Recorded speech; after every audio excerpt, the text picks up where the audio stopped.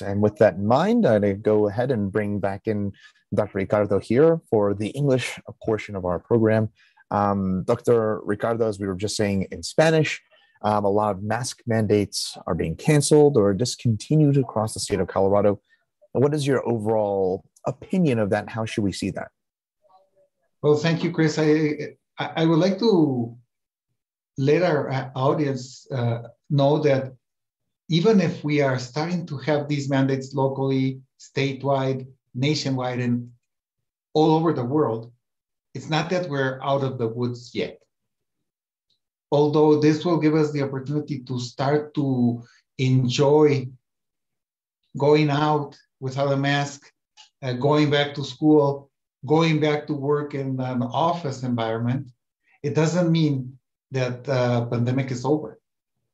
It, this uh, is the result of having 65% of our population in Colorado vaccinated, plus a high percentage of people who have natural immunity at the same time because they got an infection with the Omicron variant that wasn't severe, or even if it was severe, they still have some kind of uh, antibodies that were developed there. So this brought us in a way to have a moment, maybe a couple of months, two or three months of herd immunity. That's what we wanted to have since the beginning.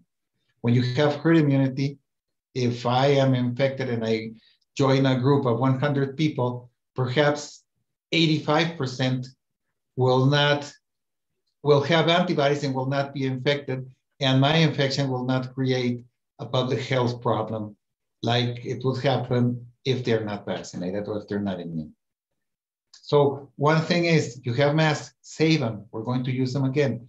And we learned some good things through the pandemic. So let's try to keep on washing our hands, having social distance, cleaning our surfaces, and taking care of ourselves and others. Absolutely. And great advice there. And something I'll probably continue wearing a mask to the grocery store to avoid getting sick uh, in the future, post, hopefully, not too long from now, post um, pandemic. Now, the other big question I feel that we're getting a lot is if you do have natural immunity from having already had COVID 19, should we still get vaccinated and or boosted? Yes, and this is something that uh, I also consider important because there we've been learning a lot from, during the past uh, two years that we've been through the pandemic. And after several variants, we realized that people who had two doses of the vaccine of Pfizer or Moderna had a better prognosis or a lighter uh, disease than those who got the disease and were not vaccinated. So we know that uh, uh, two doses are better than not having a vaccine.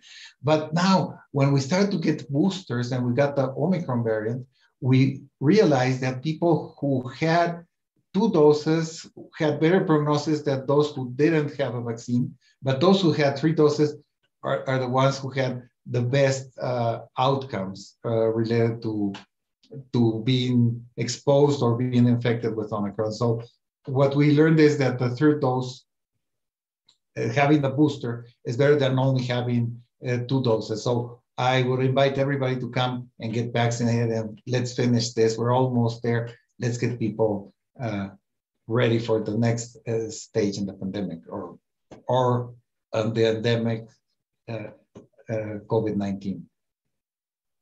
With that in mind, I know that uh, one of the reasons we have you on on a Tuesday specifically is there is normally a vaccine clinic that takes place on Tuesday night, but I know because the cold and unpleasant weather that that may have been moved. do you mind telling us about the vaccine clinic and any opportunities for our audience to get vaccinated?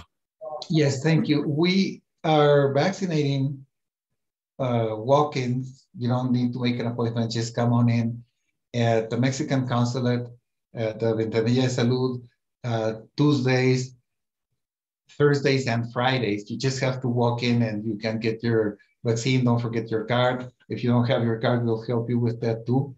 But just uh, come, in, come on in and you will get a vaccine there every Tuesday, except today because of the weather, between uh, four o'clock and eight o'clock at night, we also have uh, walk-ins at Servicios de la Raza. You can just come on in. You don't need an appointment. It's better if you call, but if not, just walk in. and you'll get uh, your vaccine. There's no waiting time uh, before you get your vaccine.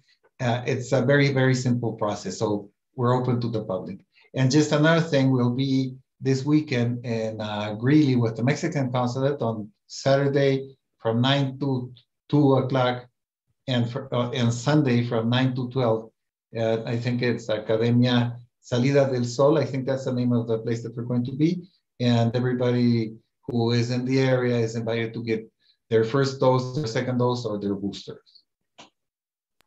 Great information and a great service. So thank you, Dr. Ricardo Gonzalez Fisher and Servicios La Raza for not only this information, but also putting on some of these uh, vaccine clinics. So we really um, appreciate a few minutes of your time here, Doctor. Thank you, Chris.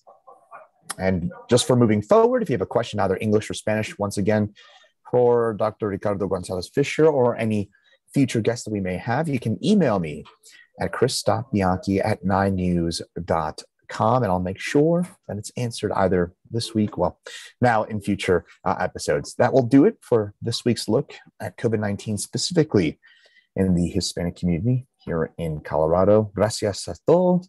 And thank you for everyone for being with us. We'll see you again here next week. Gracias.